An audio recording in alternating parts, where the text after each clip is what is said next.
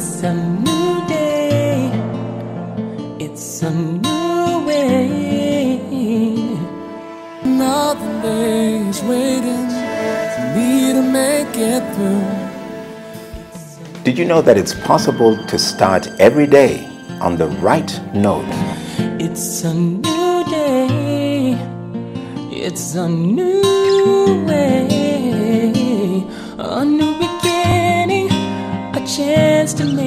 Make it right. A lovely and excellent day to you all. This is Pastor Brenda Muntembas Chilembe from Jesus Life Church in Zambia. We've been carrying out an excellent se- series that wants us to look back at the Word of God, the preciousness of the Word of God, and just how we can personalize the Word of God in our life. And the series that we're taking is Times and Seasons.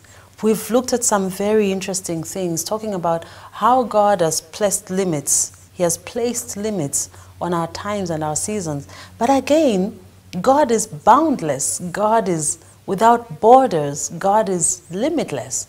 And so, where God has set his limit for you, it can take you a thousand years. You will not reach that limit. The potential that God has put in each one of us, we cannot overcome it. And so today I want us to look at Acts and chapter 1. We've been slowly progressing. The last time we looked at Acts chapter 17 from verse 26, where we said, And out of one blood, or from one blood, he has made people to dwell throughout the earth. And we said two things. Number one thing is that the one blood that flows through us is the blood of Adam, blood of disobedience, blood that took us away from the presence of God.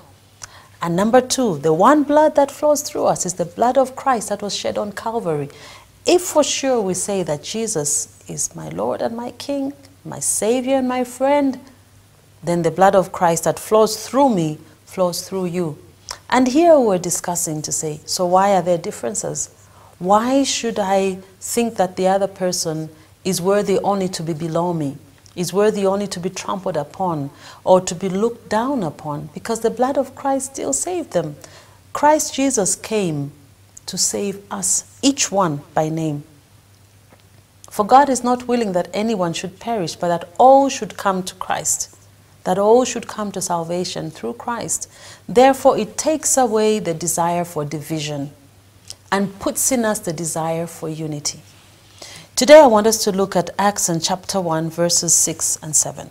This is the time when the Lord Jesus is resurrected from the dead and he has met with his apostles and he's sending them out. But on this particular day, he's bidding them farewell and going back to glory. Acts chapter 1 and verse 6. Therefore, when they had come together, they asked him, saying, Lord, will you at this time restore the kingdom to Israel? And he said to them, It is not for you to know the times and seasons which the Father has set by his own authority. But you shall receive power when the Holy Spirit comes on you, and you'll be my, my, you'll be my witnesses in Jerusalem, Judea, and to the uttermost parts of the earth. Therefore, the verse that we're concentrating on today is Therefore he said to them, It is not for you to know the times or seasons which my Father has set by his own authority. Now, it's very interesting, you know, human nature is so curious, huh? And we're told curiosity killed the cat. But every day we are curious and we keep on asking, What will happen tomorrow? And then when tomorrow comes, we say, What will happen next week? Curiosity takes us away from the attention of the now. Do you know that? Our basic responsibility is in the now. And so the disciples hear the same. They said to Jesus, So will you at that time restore the kingdom to Israel? And he said to them, It is not for you to know the times or the seasons that my Father has set by his own authority.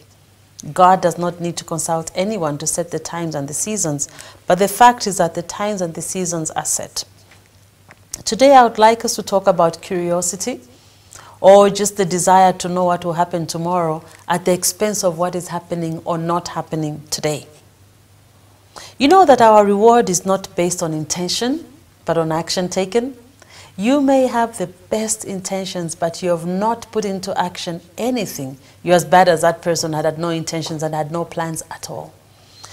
um, a friend of mine was telling me a story about this lady that used to go to the fields and every day she would plan out her work. So what she would do is that she would carry her bag, her kindle, and put stones in there, okay?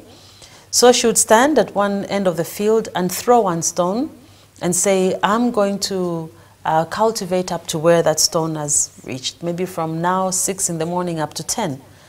Then before she starts cultivating, she walks to where that stone is, however far it was that she had thrown the stone and where it landed. She stands there and she throws another stone. And she says, now from 10, I'll take a break for 20 minutes. Then I will start and where that stone has landed is where I'm going to cultivate up to. Believe it or not, she would walk again without cultivating to the point where she put the last stone and throw another stone. Now, the moral of the story is that it would now be five o'clock and she has not cultivated at all. So she'll walk back and say, Oh, time is gone. Tomorrow I'll come earlier so that I throw my stones much earlier and I start cultivating. You may think that is very silly, but that is how we are.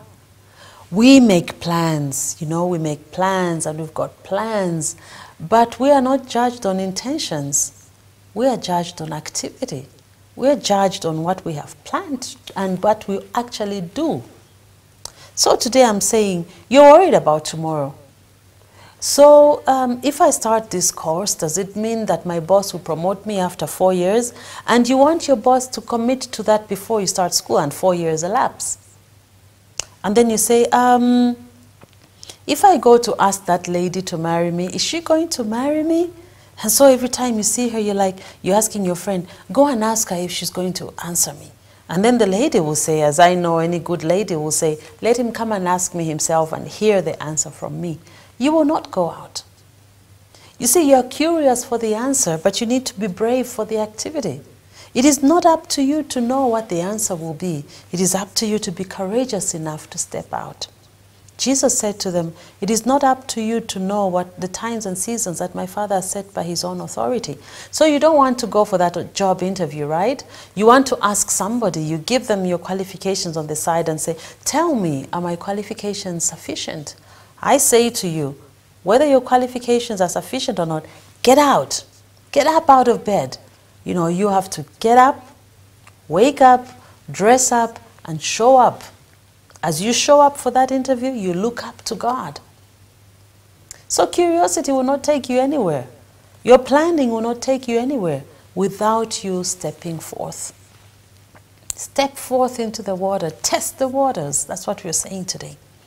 And so, my beloveds, Acts chapter 1, verse 7 says, And he said to them, It is not for you to know the times and the seasons which my Father has set by his own authority. But he gave them this charge. He says, But you shall receive power when the Holy Spirit comes on you, and you will be my witnesses, or you will go forth in Jerusalem, Judea, Samaria, and to the ends of the earth, without knowing whether the Lord God is sending me to come back for you tomorrow or the other day.